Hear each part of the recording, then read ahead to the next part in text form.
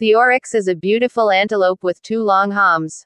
It is one of the few big animals that can live in the desert. It gets most of its water from plants, it eats at night when there is some water on the leaves.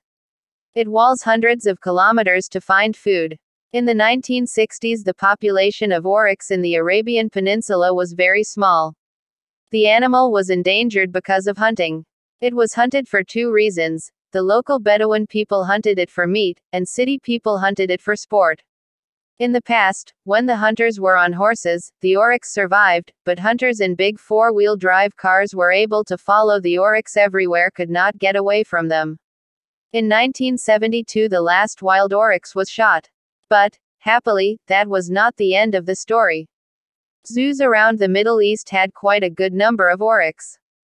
They got the animals to breed, to build up their numbers. Then in 1982 they put some oryx back into the wild in Oman.